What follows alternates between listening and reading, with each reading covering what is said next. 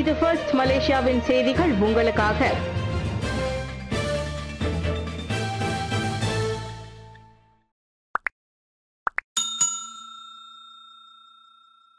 Cable car திட்டத்திற்கு வழிவிட்டு waterfall cafe உணவகத்தை இடமாற சொல்வதா?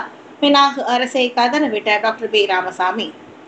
Penang botanical கார்டன்ஸில் உள்ள பிரபல வாட்டர்ஃபால் கெஃபே உணவக உரிமையாளர் எஸ். ஆனந்தராஜுக்கு அநீதி இழைக்கப்பட்டிருப்பதாக உரிமை கட்சியின் தலைவர் பேராசிரியர் டாக்டர் பி ராமசாமி சாடியுள்ளார்.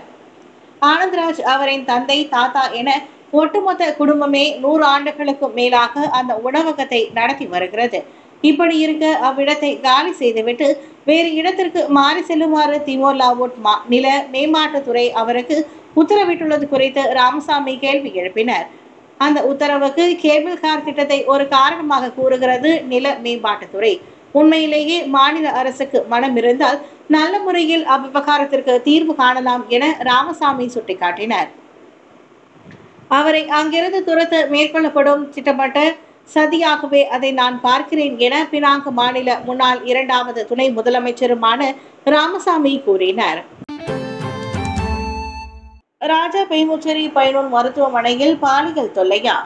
குழு அமைத்து கேகேஎம் விசாரணை. இப்போ ராஜா பெய்முச்சேரி பயனூர் மருத்துவமனையின் பெண் பயிற்சி மருத்துவர்களுக்கு பாலியல் தொல்லை கொடுக்கப்பட்டதாக எழுந்துள்ள புகார் முழுமையாக விசாரிக்கப்படும் என சுகாதார அமைச்சு உத்தரவாதம் அளித்துள்ளது. புகார் கிடைக்கப்பெற்ற மறுநாளான பிப்ரவரி இருபத்தி ஒன்பதாம் தேதியே சிறப்பு சுயேட்சை விசாரணை குழு அமைக்கப்பட்டதாக பேராக் சுகாதார இயக்குனர் டாக்டர் ஃபைசல் இட்ஸ்வான் முஸ்தபா கூறினார். விசாரணையின் ஒரு பகுதியாக தற்போது ஆதாரங்கள் சேகரிக்கப்பட்டு வருவதாக அவர் சொன்னார். பிப்ரவரி இருபத்தி எட்டாம் தேதி தபால் மூலம் வந்த ஒரு மொட்டை கடிதத்தில் அந்த பாலியல் தொல்லை குறைத்த புகார் இடம்பெற்றிருந்தது. ஆண் மருத்துவர் ஒருவர் அங்குள்ள பெண் பயிற்சி மருத்துவர்கள் சிலரிடம் ஆபாசமாக பேசியதோடு பாலியல் ரீதியில் தொல்லை கொடுத்ததாக அந்த ஒற்றை கடிதத்தில் கூறப்பட்டது. நீண்ட காலமாகவே அவரின் ஆபாச சேட்டைகள் தொடர்ந்தாலும் அதனை அப்பெண்கள் வெளியில் சொல்லவில்லை. வெளியில் தெரிந்தால் பயிற்சி நீக்கப்படும் நீட்டிக்கப்படும் என்பதோடு பிரச்சனைக்குரிய பயிற்சி மருத்துவர்கள் என முத்திரை குத்தப்படும் என்றும் அம்மருத்துவர் அவர்களை மிரட்டியதாக அக்கடிதமில் மேலும் கூறியது. இந்நிலையில் அந்த தொல்லைகளில் இருந்து எப்படியாவது தப்பிக்கும் முயற்சியில் அவர்கள் அந்த மொட்டை கடிதம் வாயிலாக தங்களுக்கு நேர்ந்த அவலத்தை வெளிப்படுத்தியுள்ளனர். இணையத்தில் வைரலான அந்த புகாரை தனது தரப்பு கடுமையாக கருதுவதாக கூறிய டாக்டர் ஃபைசல் குற்றம் நிரூபிக்கப்பட்டால் சம்பந்தப்பட்டவர்களுக்கு தக்க தண்டனை வழங்கப்படும் என உறுதியளித்தார். சூடு தாங்க முடியவில்லை. மலாக்காவில் நோன்பை கடைபிடிக்காததால் சிக்கியவர்கள் கூறும் சாக்கு போக்கு புனித ரமலான் நோன்பை கடைபிடிக்காமல் பொது இடங்களில் உணவு உட்கொண்டதன் பேரில் மலாக்காவில் இதுவரை அறுவர் பிடிபட்டுள்ளனர். இருபது முதல் அறுபது வயது வரையிலான அவர்கள் Melaka Tengah Jasin Alor Gajah உள்ளிட்ட இடங்களில் சிக்கினர். அவர்களில் இருபது வயது இந்தோனேஷிய இளைஞனும் ஒருவன் என மாநில ஆட்சிக்குழு உறுப்பினர் ரஹ்மத் மரிமான் சொன்னார். மேல் நடவடிக்கைக்காக மலாக்கா இஸ்லாமிய துறை ஜெயிமுக்கு வர செல்லும் உத்தரவு கடிதங்கள் அவர்களிடம் ஒப்படைக்கப்பட்டன. இவ்வேளையில் ஆயக்குருவில் உள்ள மாமா கடை ஒன்றில் இரு சுவைபான பைகளுடன் சிக்கிய கட்டுமான தொழிலாளி அதிகாரிகள் கேட்டபோது அவை அருகில் வேலை செய்யும் நண்பர்களுக்காக தாம் வாங்கி செல்பவை என மழுப்பி இருக்கின்றனர். இப்படி நோன்பை கடைபிடிக்காமல் மட்டம் போடும் பலர் அதிகாரிகளிடம் வசமாக சிக்கும் போது சூடு தாங்க முடியவில்லை. அதனால் தான் குடித்தோம் சாப்பிட்டோம் என சாக்குப்போக்குகளை கூறி வருகின்றனர். இதனிடையே ரமலான் நோன்பை மதிக்காத உணவக நடத்துனர்கள் மீதும் நடவடிக்கை எடுக்கப்படும் என ரஹ்மாத் எச்சரித்தார். கட்டாயப்படுத்தி பாலியல் தொழிலில் ஈடுபட வைக்கப்பட்ட நான்கு இந்திய பிரஜைகள் ஜொஹூரில் மீட்பு இருவர் கைது.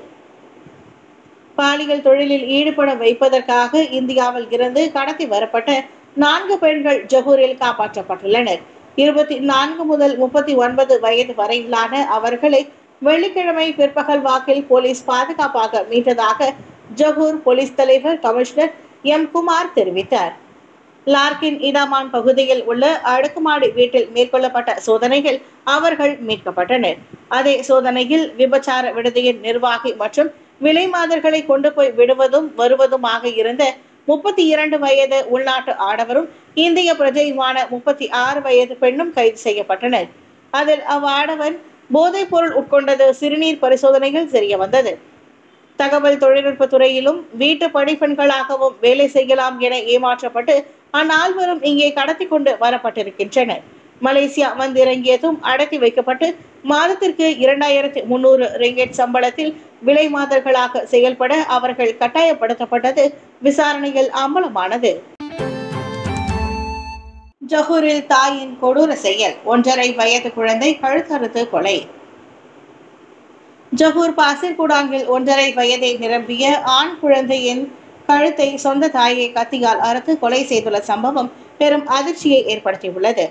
நெஞ்சை பதற வைக்கும் அச்சம்பவம் சனிக்கிழமை பிற்பகல் ஒன்று முப்பது மணி அளவில் அங்குள்ள வீடமைப்பு பகுதியொன்றில் நிகழ்ந்ததாக ஜகூர் போலீஸ் தலைவர் கமிஷனர் எம் குமார் தெரிவித்தார்.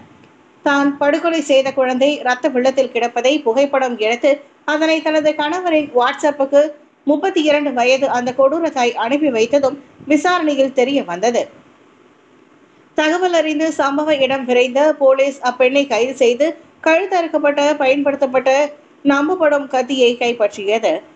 கைதான தாயை விசாரிக்காக தடுத்து வைக்க இன்று நீதிமன்றம் ஆணை பெறப்படும் என கமிஷனர் குமார் மேலும் சொன்னார்.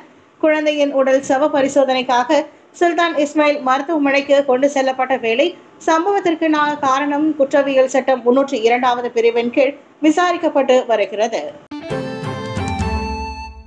புதுரஜையாவில் மனக்கசப்பால் வீட்டை விட்டு வெளியேறிய பெண் பதற்றத்தில் குடும்பம். குடும்ப மனக்கசப்பு காரணமாக இருபது வயது பெண்ணை சில நாட்களாக காணவில்லை என புத்திரஜயா போலீசிற்கு தகவல் கிடைத்திருக்கிறது. பிள்ளை வீட்டில் இல்லாததை கண்டு அப்பெண்ணின் மாற்றான் தந்தை பிரசன்ட் பதினொன்று போலீஸ் நிலையத்தின் புதன்கிழமை அன்று அப்புகாரை செய்துள்ளார். குடும்ப உறுப்பினர்களுக்கு இடையில் ஏற்பட்ட வாக்குவாதத்தின் போது நூருல் ஐஷா அப்துல்லாவின் தலையில் அடிபட்டு விட்டது இதனால் கடும் கோபத்தில் அன்றைய நாளில் வெளியே போனவர் இதுவரை வீடு திரும்பவில்லை என மாற்றான் தந்தை போலீசிடம் கூறியுள்ளார். நூருல் ஐஷாவை திங்கட்கிழமையில் இருந்து வீட்டில் காணவில்லை என்று செய்தி முன்னதாக சமூக ஊடகங்களிலும் பரவியது. அவள் வேலை செய்யவில்லை. பெற்றோருக்கு உதவியாக தம்பி தங்கைகளை பார்த்து கொள்வாள். வீட்டை விட்டு எங்கும் தொலைவில் இதுவரை சென்றதில்லை. அவள் சீக்கிரமே பாதுகாப்பாக வீடு திரும்புவாள் என வேண்டிக் கொள்கிறோம் என ஐஷாவின் தாய் சோகத்துடன் கூறினார். காணாமல் போனதாக அச்சம்பவம் வகைப்படுத்தப்பட்டு விசாரிக்கப்படுவதுடன் தேடும் பணிகளும் தீவிரமாக படுத்தப்பட்டுள்ளது என்றும் புதர்ஜயா மாவட்ட போலீஸ் தலைவர் ஏ அஸ்மானி அப்துல் அசீஸ் சொன்னார். பாசர்கூடாங்கில் பதின்ம வயது பையன் கடத்தி துன்புறுத்தல் மூவர் கைது. ஜஹூர் பாரு கூடாங்கில் பதின்ம வயது பையனை அடித்து காயப்படுத்தி கடத்தி சென்ற உள்ளூர் ஆடவர்கள் மூவர் கைதாகியுள்ளனர்.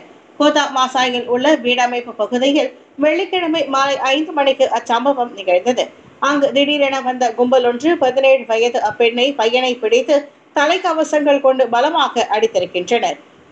பிறகு அவன் புரோட்டான் சத்ரியா காரின் வனட்டுக்கு இழுத்து செல்ல போட்டு அங்கிருந்து விருட்டனை கிளம்புவது வைரலாகி உள்ள வீடியோவில் தெரிகிறது. அப்பையனை அருகே உள்ள மற்றொரு வீட்டுக்கு அக்கும்பல் கொண்டு சென்றது விசாரணையில் தெரிய வந்ததாக ஸ்ரீஅலாம் மாவட்ட போலீஸ் தலைவர் சூப்பரிண்டென்டென்ட் முகமது ஷுஹைமி இஷாக் தெரிவித்தார். அங்கு அவனை கட்டி போட்டு லத்தி உள்ளிட்ட பொருட்களை கொண்டு அக்கும்பல் தாக்கியது. அதில் அவனது கண்ணம் கழுத்து தோல் மற்றும் முதுகில் காயம் ஏற்பட்டதோடு காதில் இரத்த கசிவும் ஏற்பட்டது. இதையடுத்து பாசிகுடாங்கில் வெவ்வேறு இடங்களில் வைத்து பதினைந்து முதல் முப்பத்தி ஏழு வயது வரையிலான மூன்று சந்தேக நபர்களும் கைதானதாக ஷஹைமி சொன்னார். அவர்களில் ஒருவன் போதைப்பொருள் மற்றும் பல்வேறு குற்ற செயல்கள் தொடர்பில் ஏற்கனவே இருபத்தி ஆறு குற்றப்பதிவுகளை கொண்டவன் என்பதும் விசாரணையில் அம்பலமானது நச்சு பொருள் கலந்த சாக்லேட் விற்பனைக்கு பயன்பாட்டிற்கும் கேகேஎம் தடை. ஒரு வகை நச்சு பொருளை கொண்டிருப்பது கண்டறியப்பட்டுள்ளதால் ஸ்லைம் கோகோ அல்லது ஸ்லைம் கோட்டோ வகை சா- சாக்லேட் விற்பனைக்கும் பயன்பாட்டிற்கும் சுகாதார அமைச்சு தடை விதித்துள்ளது. சைபிட்ரமைன் எனும் அட்டவணையிடப்பட்ட ரசாயன கலவை பசியை அடக்க அல்லது சாப்பிடும் எண்ணம் வராதிருக்க உதவுவதாக கூறி விற்கப்படுகிறது. அதை பெரும்பாலும் உடல் இழைக்க விரும்புவோர் பரவலாக உட்கொள்கின்றனர். சை பியூட்டமைன் கொண்டு வரும் மோசமான பக்க விளைவுகளில் மாரடைப்பு பக்கவாதம் போன்றவையும் அடங்கும் என அமைச்சு கூறியது. இருதய செயல்பாட்டையும் அது பாதிக்கக்கூடும். அதாவது ஓய்வாக இருக்கும்போது கூட இருதய துடிப்பை அது அதிகப்படுத்தும். அதோடு வாய் காய்வது போ- மவது குமட்டல் மலச்சிக்கல் தூக்க பிரச்சனை தலை சுற்றல் போன்ற உபாதைகளும் ஏற்பட வாய்ப்புள்ளது. எனவே இணையதளத்தில் விற்பவர்கள் உள்ளிட்ட அனைத்து வியாபாரிகளும் இன்னமும் அந்த சாக்லேட் ஸ்டாக்கை வைத்திருந்தால் உடனடியாக விற்பனையை நிறுத்த வேண்டும். அவற்றை சீல் வைக்கும் மற்றும் நடவடிக்கைக்கு அருகில் உள்ள மாவட்ட சுகாதார அலுவலகங்களை தொடர்பு கொள்ளுமாறும் அறிவுறுத்தப்பட்டுள்ளனர். சர்ச்சைக்குரிய காலுறைகள் விற்பனைக்கு வைக்கப்பட்ட சம்பவம். பகிரங்க மன்னிப்பு கோரிய கே. கே. மார்ட். அல்லாஹ் என்ற வார்த்தையுடன் காலுரைகள் விற்பனைக்கு வைக்கப்பட்ட சம்பவத்திற்கு பெரும் வருத்தம் தெரிவித்துள்ள கே. கே. மார்ட் சூப்பர் மார்க்கெட் அதற்கு பகிரங்க மன்னிப்பும் கோரியுள்ளது அது தெரிந்து செய்ய ஒன்றில்லை என கே. கே. மார்ட் நிறுவனரும் அக்குழுமத்தின் தலைமை செயல் அதிகாரியுமான ரதஸ்ரீ கே. கே. சாய் விளக்கம் அளித்தார் இருபத்தி மூன்று ஆண்டு கால வர்த்தகத்தில் நாங்கள் அது போன்ற தவறேதும் இழைத்ததில்லை. அப்படி இருக்க மிகவும் உணர்ச்சி பூர்வமான இந்த அல்லாஹ் விஷயத்தில் நிச்சயம் நாங்கள் தெரிந்தே தவறு செய்ய மாட்டோம் என அவர் சொன்னார். காலுறைகளை தருவித்த நிறுவனத்தின் தவறால் இன்று நாங்கள் அவமானப்பட்டு நிற்கிறோம் என கே. கே. கோபுரத்தில் உள்ள தனது அலுவலகத்தில் நடத்திய சிறப்பு செய்தியாளர் சந்திப்பில் Dato Sri K. K. Chai தெரிவித்தார். நாடு முழுவதும் கே கே கிளைகளில் மேற்கொண்ட சோதனையில் வைரலான Bandar Sunway K K Mart உள்ளிட்ட மூன்று கிளைகளில் மட்டுமே அதுவும் பதினான்கு ஜோடி காலுறைகளில் மட்டுமே அல்லா வார்த்தை இடம்பெற்றிருப்பது கண்டறியப்பட்டது. நல்ல வேளையாக அவை விற்கப்படவில்லை என கே கே சாய் சொன்னார். தீபகற்பத்தை காவும் வெப்ப அலை அணைக்கட்டுகளின் நீர்மட்டமும் குறைகிறது. அதிக வெப்பம் மற்றும் வறட்சியால் நாடு பாதிக்கப்பட்டு வரும் நிலையில் மேலும் ஏராளமான பகுதிகளுக்கு வெப்ப அலை எச்சரிக்கை விடுக்கப்பட்டுள்ளது. குறிப்பாக தீபகற்ப மலேசியாவின் வட மாநிலங்களுக்கு அவ்வெச்சரிக்கை அதிகமாகியுள்ளது. அங்கு அணைக்கட்டுகளின் நீர்மட்டமும் அபாய அளவை நெருங்கி வருகிறது. குறிப்பாக கெடா பொகோக்சனா இரண்டாவது முறையாக வெப்ப அலையின் இரண்டாம் கட்ட எச்சரிக்கையை பெற்றது. அப்பட்டணத்திற்கு ஏற்கனவே பிப்ரவரி இருபத்தி எட்டாம் தேதி அவ்வெச்சரிக்கை விடுக்கப்பட்டிருந்தது. போகோக்செனா தவிர்த்து Padang Terap Sik Baling Kuala Muda Pendang Kota Setar ஆகிய இடங்களுக்கு முதல் கட்ட வெப்ப அலை எச்சரிக்கை விடுக்கப்பட்டுள்ளது. வெள்ளிக்கிழமை ஒட்டுமொத்த பெர்லிஸ் மாநிலத்திற்கும் இரண்டாம் கட்ட எச்சரிக்கை விடுக்கப்பட்ட நிலையில் சனிக்கிழமை அது முதல் கட்ட எச்சரிக்கையாக குறைக்கப்பட்டது. நேற்று மாலை வரைக்குமான தகவலின்படி கோலாலம்பூர் பேராக் பஹாங் மற்றும் ஸ்லாங்கூரின் பல பகுதிகளில் முதல் கட்ட எச்சரிக்கை விடப்பட்டது. உயர்ந்த சாதனை தடைகளை தகர்த்தெறிந்த உலகின் மிக குள்ளமான மருத்துவர் கணேஷ் பாரையா இந்தியா குஜராத்தில் வெறும் மூன்று அடி அல்லது தொன்னூற்றி ஒரு சென்டிமீட்டர் உயரமை கொண்ட இளைஞர் சாதிக்க உயரம் ஒரு தடையல்ல என்பதை நிரூபித்திருக்கிறார். உலகின் மிக குள்ளமான மருத்துவராக பெயர் பதித்துள்ள இருபத்தி மூன்று வயது கணேஷ் பாரையா என்பவரே அந்த சாதனைக்கு சொந்தக்காரர். பிறக்கும் போது மற்ற குழந்தைகள் போலவே ஆரோக்கியமாக பிறந்துள்ளார் கணேஷ். எனினும் வளர வளர அவருக்கு டுவார்பிசம் அல்லது குள்ளத்தன்மை பிரச்சனை இருப்பது கண்டறியப்பட்டது. உடம்பு சிறியதாகவும் தலை மட்டும் பெரியதாகவும் இருந்ததால் பள்ளிக்காலம் முதற்கொண்டே நண்பர்களின் கேலி கிண்டல்களுக்கு கணேஷ் ஆளாகியுள்ளார். என்றாலும் மனமுடையாமல் நன்கு படித்து தேர்ச்சி பெற்றார்.